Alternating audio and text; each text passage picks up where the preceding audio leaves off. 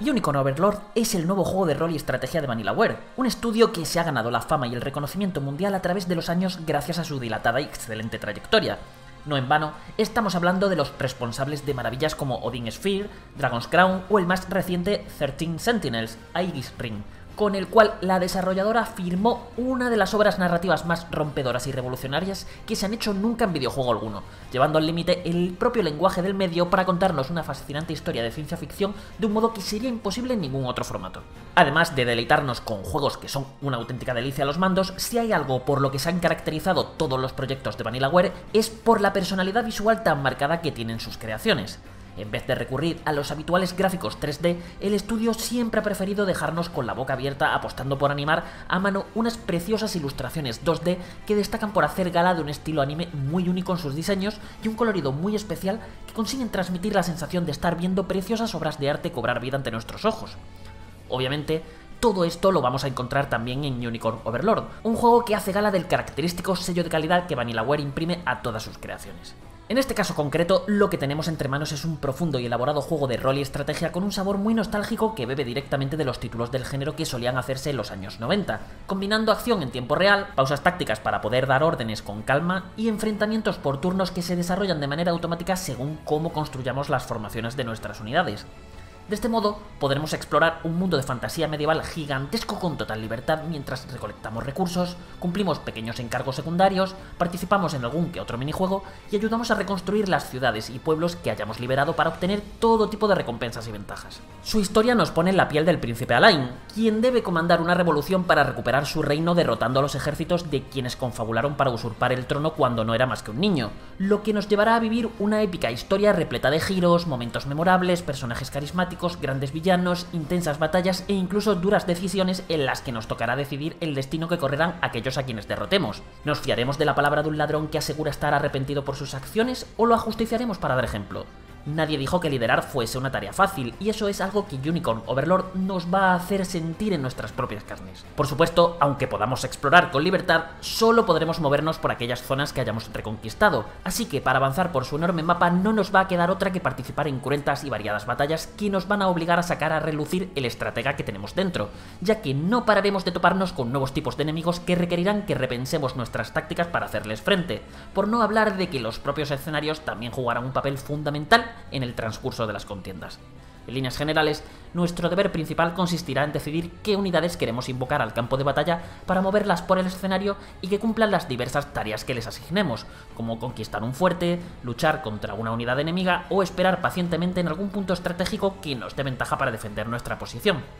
Cada unidad representa un escuadrón que puede estar formado por varios personajes, aunque al principio solo serán de dos, por lo que una de nuestras primeras prioridades será precisamente conseguir los recursos suficientes para desbloquear huecos adicionales tanto para poder disponer de más unidades como para hacer que las ya existentes puedan contener una mayor cantidad de luchadores. El segundo paso a tener en cuenta será la formación de cada unidad, ya que cada personaje tiene su propia clase y, por tanto, habilidades y características únicas que utilizarán al entrar en conflicto con una unidad enemiga. De este modo, dependiendo de si las situamos en la vanguardia o en la retaguardia, actuarán de una forma u otra, y las sinergias que pueden tener con el resto de compañeros es clave para crear escuadrones imbatibles. Por ejemplo, un ladrón situado en la retaguardia podrá centrarse en atacar para hacer mucho daño, pero si lo colocamos en la vanguardia será más proclive a atraer los ataques de los enemigos, algo que podemos usar en nuestro favor ya que esta clase es experta en esquivar golpes físicos y cumple muy bien las labores de tanque contra un buen número de tipos de rivales. ¿No nos fiamos de alguien que pueda esquivar o no? Entonces quizá prefiramos usar caballeros con escudos que cuenten con habilidades que les permitan interponerse entre los ataques del enemigo y un compañero para absorber gran parte del daño o reforzar la vanguardia con clases que dispongan de técnicas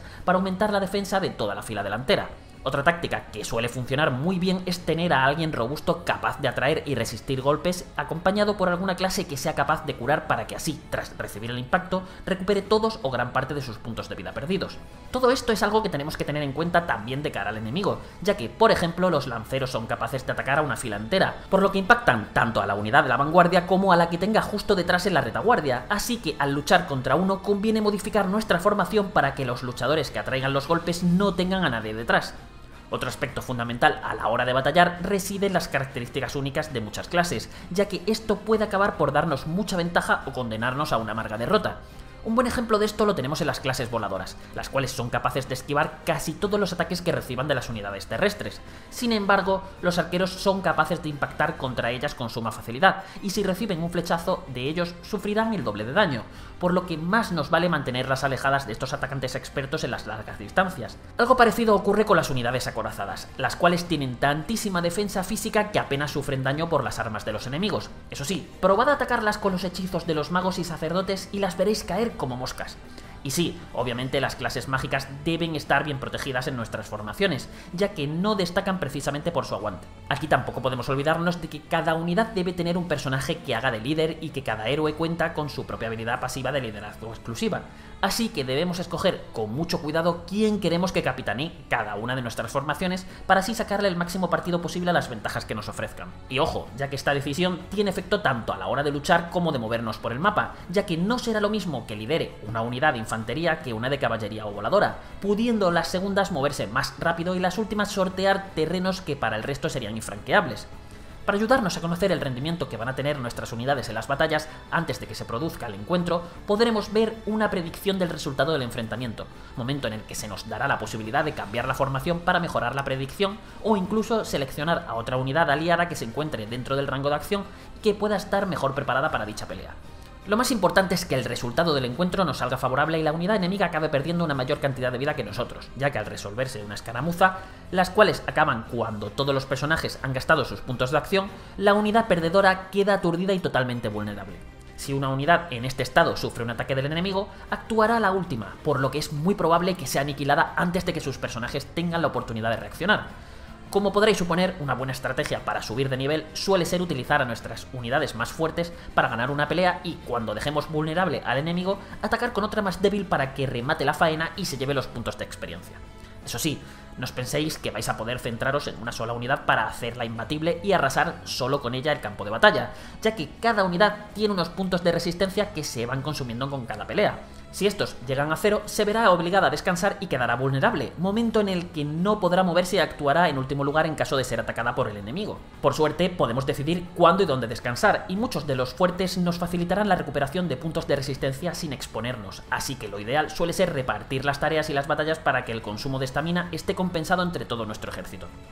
Por último, no podemos olvidarnos de destacar que a medida que derrotemos enemigos y conquistemos bases, ganaremos unos puntos de valor que pueden utilizarse para realizar habilidades activas en el campo de batalla, las cuales pueden cambiar el curso de la contienda, ya sea fortaleciéndonos de algún modo o con otros efectos de lo más útiles que nos darán muchísima ventaja. Por ejemplo, Alain cuenta con una habilidad que duplica la experiencia recibida de todas las unidades cercanas en el siguiente combate que libre cada una, algo que si usamos justo cuando vayamos a derrotar a un general enemigo, garantizará que nuestros personajes suban fácilmente de nivel. Y por cierto, si queréis poner a prueba vuestras formaciones, os alegrará saber que existe una función online que nos permite medirnos de forma asíncrona contra las unidades de otros jugadores.